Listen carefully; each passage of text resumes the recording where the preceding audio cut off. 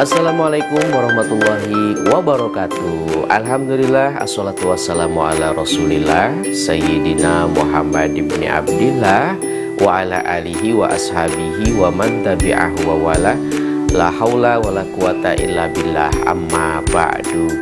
Adik-adik yang berbahagia Selamat pagi. Senang ya rasanya Kak Jamal bisa mendampingi Dan menemani kalian tentunya dalam program kesayangan kita Dongeng bersama dengan Kak Jamal. Nah adik-adik seperti biasa Kak Jamal tidak sendiri tapi ditemani oleh sahabat kalian Yaitu si Badar yang akan mendampingi adik-adik selama satu jam ke depan.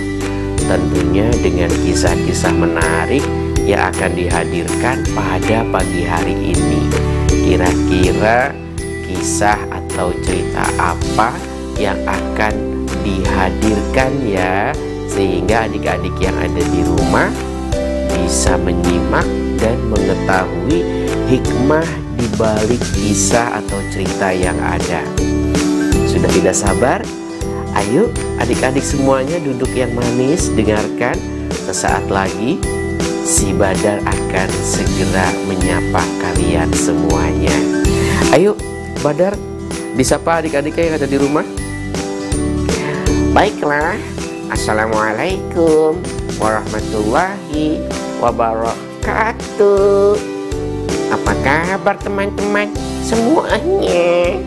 Aku berharap teman-teman yang ada di rumah selalu diberikan kesehatan oleh Allah subhanahu wa ta'ala yang pasti tetap menjadi anak Indonesia yang selalu bersyukur kepada Allah berbakti rajin belajar dan membantu kepada kedua orang tua.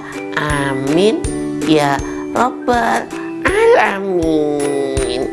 Nah teman-teman, pagi hari ini aku dan Kak Jamal akan menceritakan salah satu keutamaan dari sifat jujur loh teman-teman. Kak Jamal, biasanya kalau jujur itu pasti tidak akan enak. Bukankah berbohong itu jauh lebih hebat karena orang yang berbohong pasti akan selamat. Bukan begitu Kak Jamal? Adik-adik yang berbahagia yang dirahmati Allah Subhanahu wa taala, sebetulnya kalau berbicara tentang sifat jujur, gambarannya tidak seperti yang disampaikan oleh Badar ya, adik-adik ya. Bagaimanapun sifat jujur itu justru menyelamatkan seseorang walaupun awalnya sepertinya membinasakan. Contohnya, saat kalian berkata jujur terhadap perbuatan jahat yang pernah kita lakukan. Misalkan adik-adik kalian tidak berangkat ke sekolah karena malas. Ketika kalian ditanya oleh bapak ibu guru, Kenapa kalian tidak berangkat ke sekolah? Kalau kalian berkata sakit, berarti kalian berbohong. Tapi kalau jujur berkata bahwa kalian malah sekolah, pasti akan kena hukuman. Tapi walaupun terkena hukuman, kalian akan merasa nyaman. Kenapa demikian? Karena kejujuran itu akan mendatangkan kepada kebaikan. Sementara kebaikan mengajak seseorang masuk ke dalam surganya Allah Subhanahu wa taala. Baginda Nabi mengatakan, "As-sidqu munjin wa in halaka." Orang yang jujur itu hakikatnya adalah orang yang selamat walaupun terasa seperti membinasakan. Ya kalau jujur nanti akan dihukum ya adik-adik ya. Kalau dihukum rasanya tidak nyaman. Berdiri di depan kelas malu di hadapan teman-teman semuanya. Tapi setelah itu dia tidak akan mengulangi kebohongannya. Karena jujur. Tapi kalau berbohong, kalau ditanya, kamu kenapa tidak masuk sekolah? Aku sakit bu guru. Kamu sakit? Iya bu guru. Alhamdulillah akhirnya aku tidak dihukum. Tiba-tiba saja bu guru akan bertanya seperti ini. Kamu sakit apa?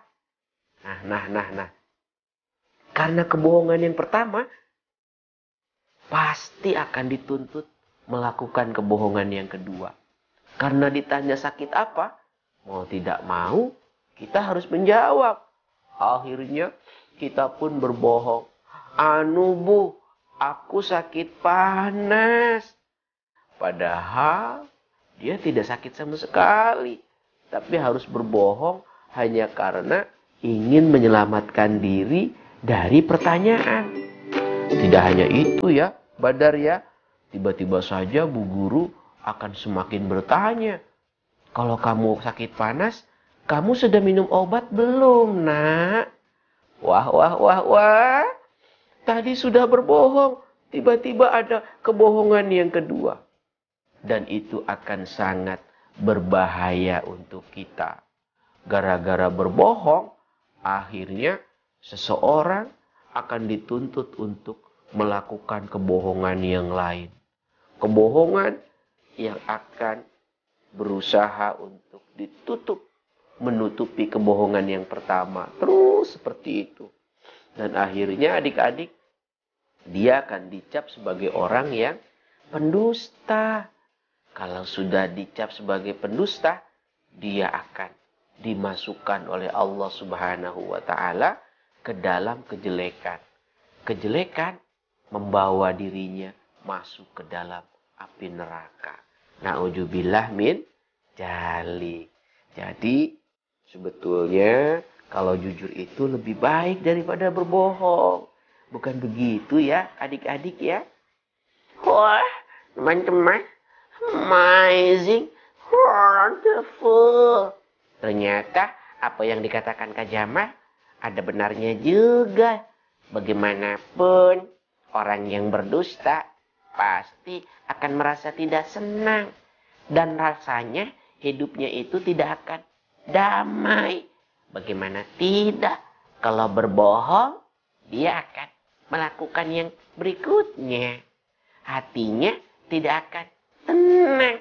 Kalau hatinya tidak tenang, berarti dia tidak akan mendapatkan kebahagiaan. Wah, teman-teman, jangan ke mana-mana ya. Aku dan Kak Jamal akan menceritakan untuk teman-teman kisah tentang kejujuran. Bagaimana orang yang jujur itu akan mendapatkan kebahagiaan dan juga pertolongan teman-teman. Jangan ke mana-mana ya.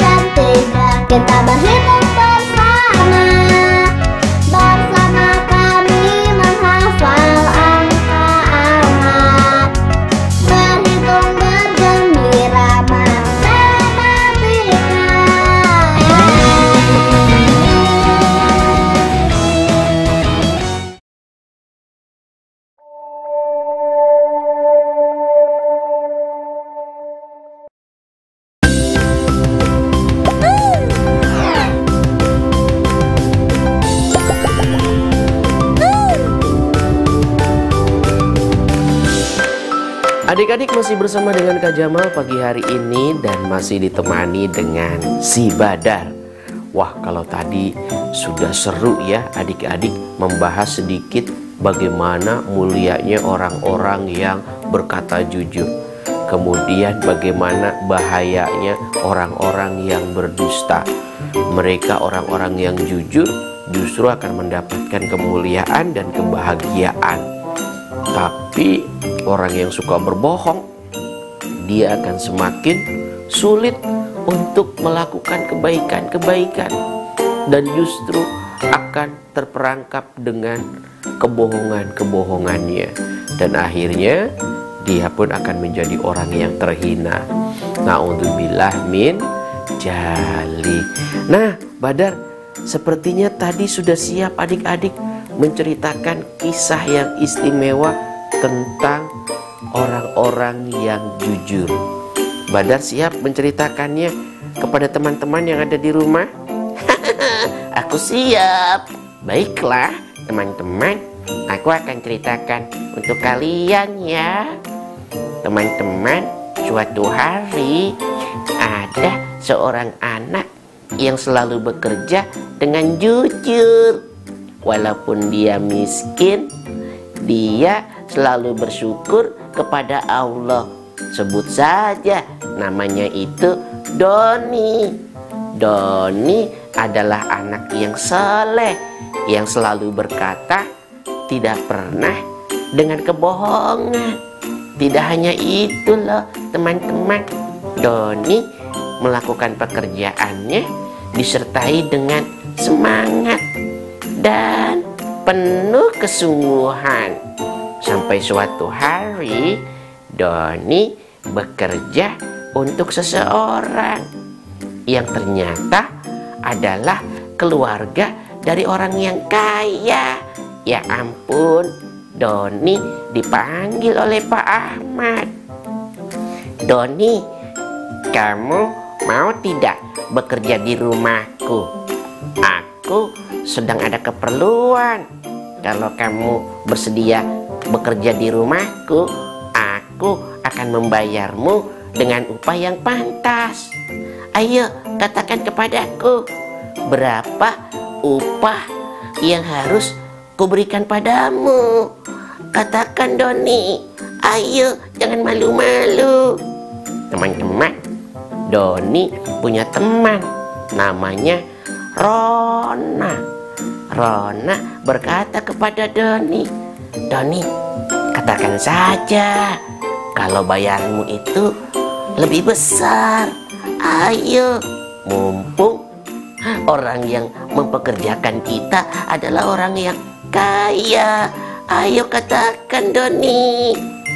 Doni, teman-teman disuruh berkata bohong. Biasanya kalau Doni sehari bekerja, dia mendapatkan upah 100 ribu rupiah. Tapi Doni disuruh berkata 200 ribu.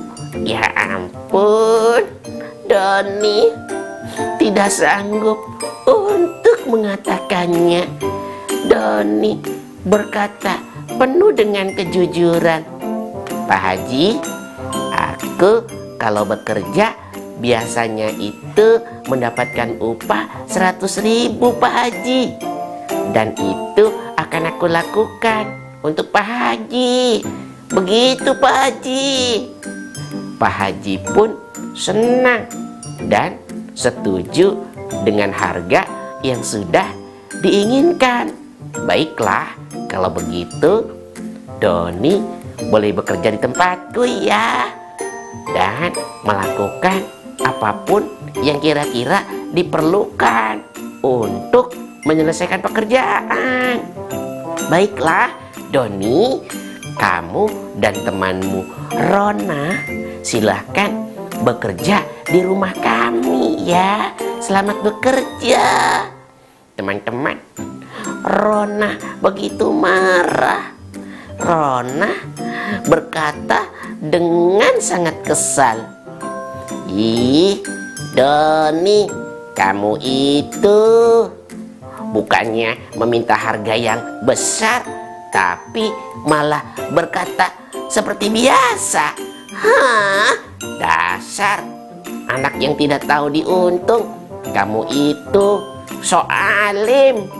Aku benci padamu. Doni. Aku tidak mau bekerja lagi padamu ah. Akan bekerja sendiri saja. Huh, aku kesal, kesal, kesal.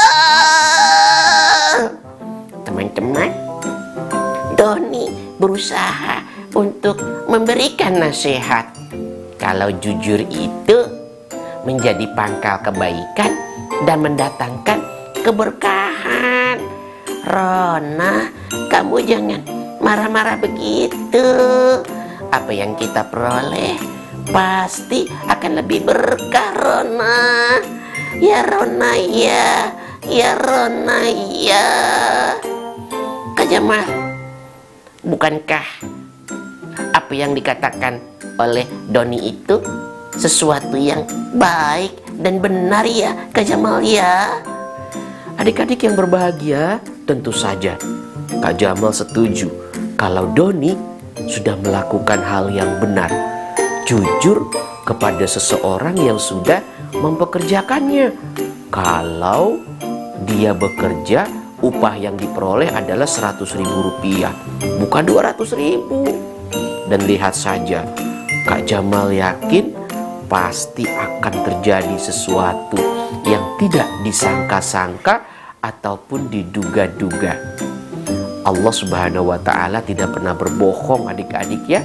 Di dalam Al-Qur'an itu dikatakan wa may yattaqillah yaj'al lahu. Siapa orang yang bertakwa kepada Allah akan diberikan jalan keluar. Wa yarzuqhu min haitsu. Bahkan Allah Subhanahu wa taala akan memberikan rejeki dari arah yang tidak disangka-sangka. Nah, kira-kira rahasia apa dan rejeki apa yang akan diterima oleh Doni dari hasil usahanya yang jujur itu? Apakah dia memperoleh kebaikan atau tidak ya adik-adik? Bagaimana pula nasib Rona sahabatnya? Nah, Badar tunggu dulu. Jangan ceritakan kepada teman-teman ya. Nanti setelah pariwara berikut, kalian dan Kak Jamal akan mendengarkan kisah yang istimewa ini dari sahabat kita si Badar.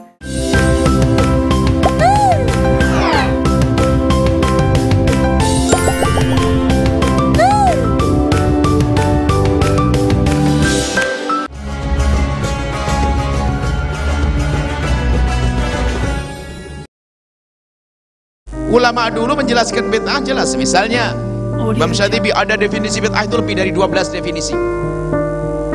Tapi nggak ada yang definisi bunyinya. Yang tidak pernah dilakukan Nabi adalah bid'ah. Nggak ada begitu. Karena banyak yang tidak dilakukan Nabi, dilakukan oleh sahabat Nabi. Banyak tidak dilakukan Nabi, dilakukan oleh para tabiin. Banyak.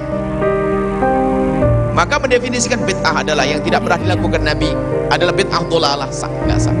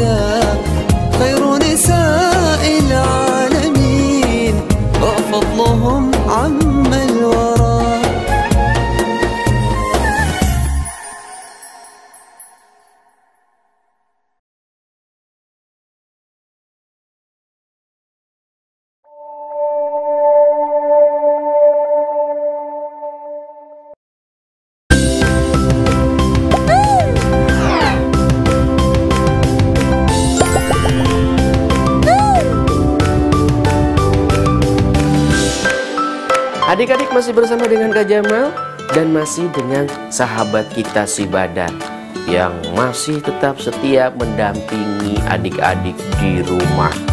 Dan dalam kisah tentang baik dan pentingnya berkata jujur.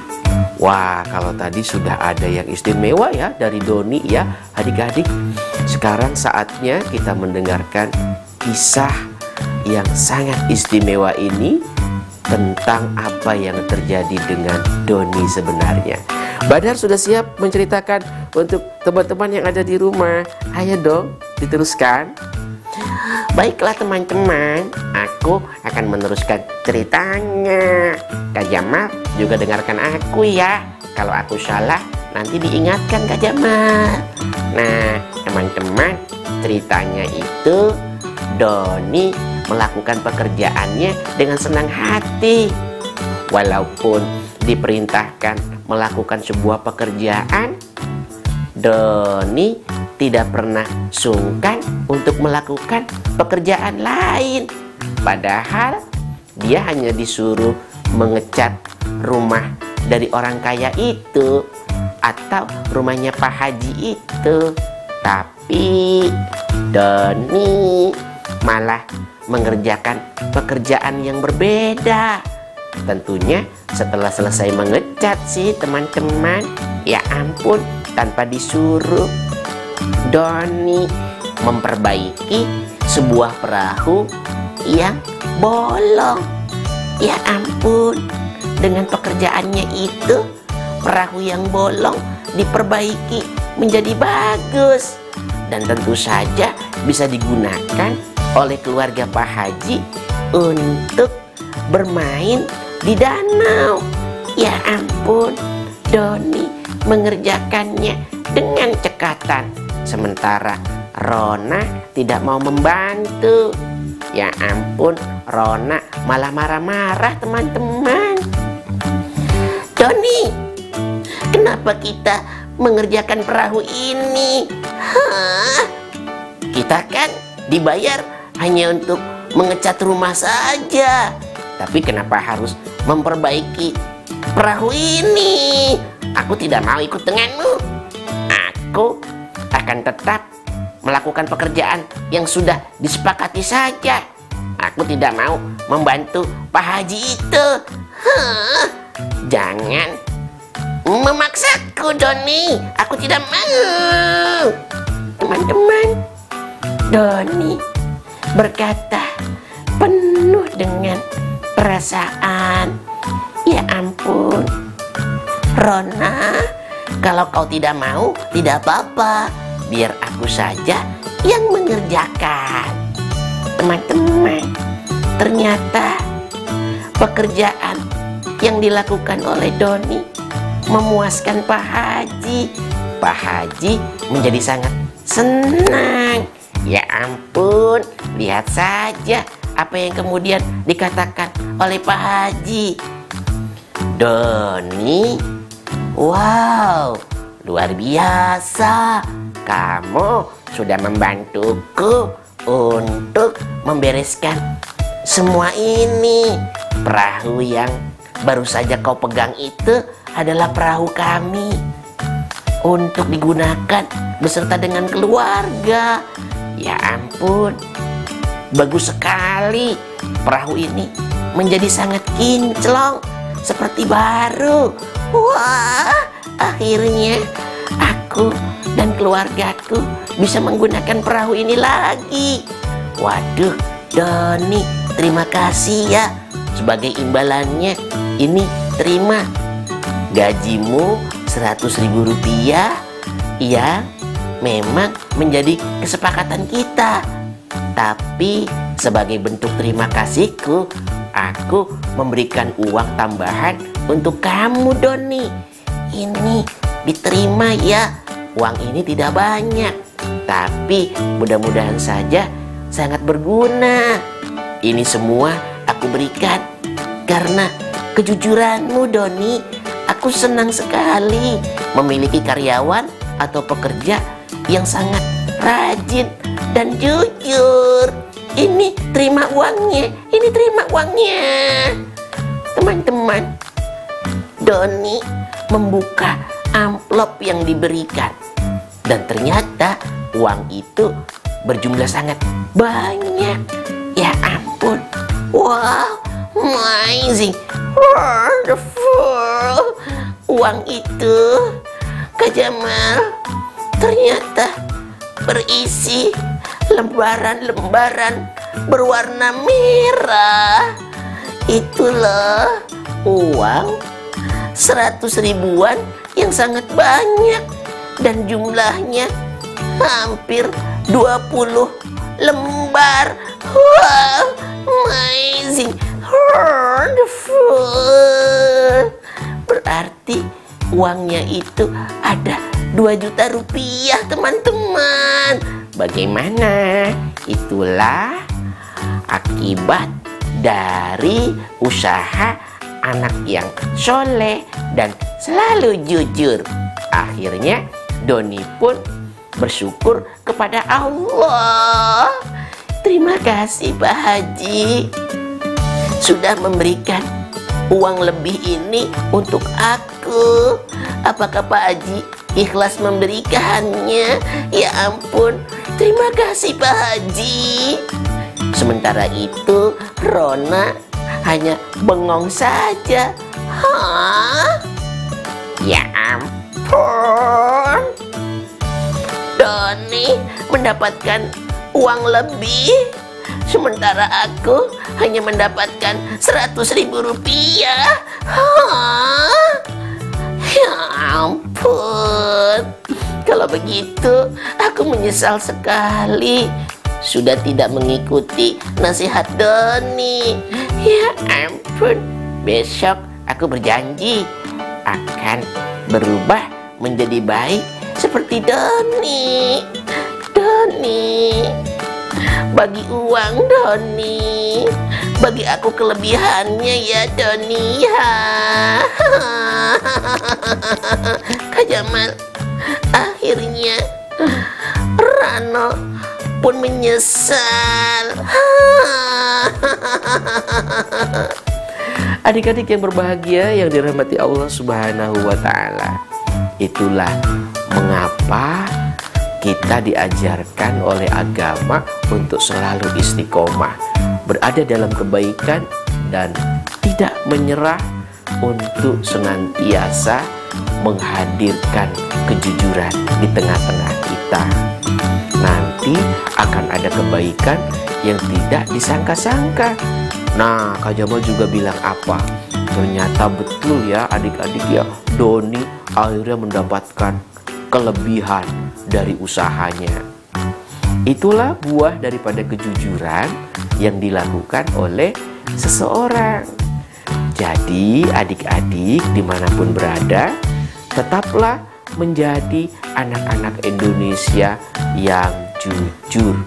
Jangan pernah berkata bohong, apalagi melakukan kecurangan-kecurangan. Mudah-mudahan kisah yang tadi disampaikan bermanfaat untuk adik-adik semua ya.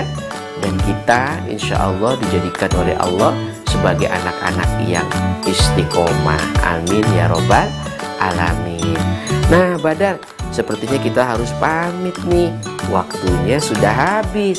Insya Allah di lain waktu dan di lain kesempatan bisa kita lanjutkan kembali. Yuk pamit yuk dari adik-adik semuanya. Baiklah, teman-teman, aku pamit ya. Terima kasih atas kebersamaan teman-teman semuanya. Mohon maaf kalau kita punya kesalahan dan banyak dosa. Hampura, aku banyak sekali melakukan kebohongan. Teman-teman, akhirnya aku pamit ya. Tetap menjadi anak Indonesia yang soleh dan soleha. Assalamualaikum warahmatullahi wabarakatuh. Dadah teman-teman. Dadah. Dadah teman-teman. Dadah.